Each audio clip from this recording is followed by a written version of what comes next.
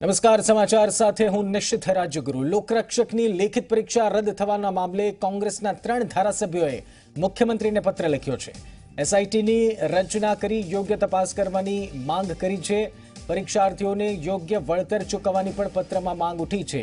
લલિત વસોયા, ઋત્વિક મકવાણા અને લલિત કગથરાએ આ પત્ર લખ્યો છે. તો હવે પેપર લીકનો આ મુદ્દો ધીરે ધીરે વેગ પકડી રહ્યો છે.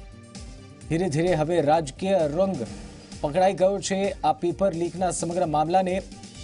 ગૌરવ પટેલ અમારા રિપોર્ટર ફોન લાઈન પર જોડાયા છે. ગૌરવ, હવે કોંગ્રેસના પહેલા પૂર્વ મુખ્યમંત્રી અને કોંગ્રેસના પૂર્વ નેતા શંકરસિંહ આરોપ લગાવ્યા. ત્યારબાદ તેમણે પણ માંગ કરીને હવે કોંગ્રેસના વર્તમાન ધારાસભ્યોનો આ પત્ર શું ઉલ્લેખ કરાયો છે?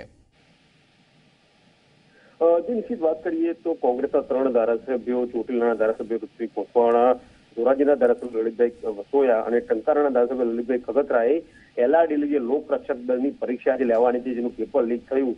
જેના કારણે નવ લાખ જેટલા પરીક્ષાર્થીઓને આર્થિક નુકસાન ભોગવવાનો વારે ઉપરાંત માનસિક નિરાશાનો પણ સામનો તેમને કરવો પડશે. ત્યારે મુખ્યમંત્રીને પત્ર લખીને આ આખા સમગ્ર ઘટનાક્રમ છે તેની સ્પેશિયલ ઇન્વેસ્ટિગેશન ટીમની રચના કરીને તપાસ કરવાની માંગણી કરી છે. ઉપરાંત જે કોઈ પણ વિદ્યાર્થીઓ છે, તેમને જે આર્થિક નુકસાન થયું છે, તેનું પણ વળતર આપવાની માંગ કરી છે. સરકારે વળતરની તો આપવાની ચોક્કસ માંગ કરી છે, પરંતુ જે દોઢ કે બે વર્ષથી જે લોકો પરીક્ષાર્થી, પરીક્ષાર્થીઓ પરીક્ષા માટેની તૈયારી કરતા હતા, તેમની જે નિરાશા થઈ છે, તે ક્યારે પૂરી શકાય તેમ નથી. ત્યારે આ આખા જે ષડયંત્ર જે કહી રહી છે પોલીસ, તેની એસઆઈટીની રચના થવી જોઈએ તેવી તેમણે માંગ કરી છે.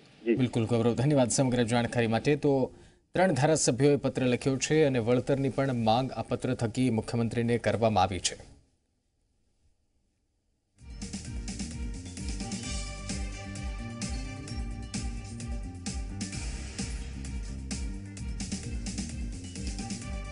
તો લોકરક્ષક